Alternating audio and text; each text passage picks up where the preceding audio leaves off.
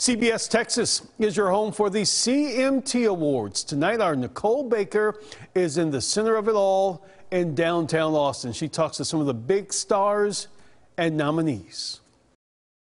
As you can hear and see, twas the night before the CMT 2023 awards, and the biggest stars are lighting up the Austin sky just in time for tomorrow's big night in country music. The CMT Awards are hitting all the right notes this year in the live music capital of the world. Ooh, I said I wasn't going to cry. Okay, here we go. Um, CMT was the last time I saw my mom. Country music legend Wynonna Judd performing for the first time since losing her mother Naomi. The two shared the stage for a duet last year. It's going to give me a chance to get up there and look in the camera and say to somebody, please hold on, reach out for help. To honor the 50th anniversary of their first album, you can expect a star studded Lynyrd Skynyrd tribute, including Billy Gibbons and Warren Haynes. We were down in Charleston, South Carolina with the ZZ Top show, who hired Lynyrd Skynyrd for their first paying job. Wow, that's cool. Swearing that you'll last someday further down the road.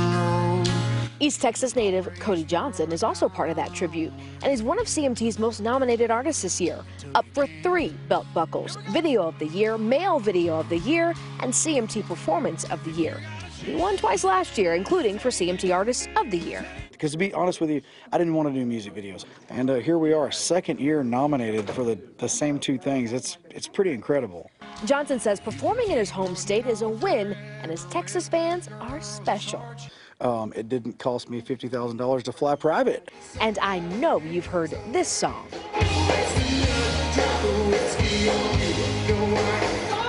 Certified platinum, number one. That's How's crazy. How does it make you feel? Is it really happy? uh, I, I, didn't expect it to do what it did, and, and, just you just you never know. I mean, you, you, write songs and you work really hard on them, and you know, seeing that kind of happen just means that it connected with people. You know? Yeah, and Lily Rose, the swaggy soul country gal who was part of the 2022 Next Woman in Country Music class. She's making a tour stop in Dallas later this month. She says she can't wait to connect to her Texas fans. I'm so stoked. Texas is one of the territories that I just haven't gotten to come down and play. So the fans seem excited for the Texas shows, but Dallas, the tickets are moving. So we're excited. House of Blues, it's gonna be it's gonna be great.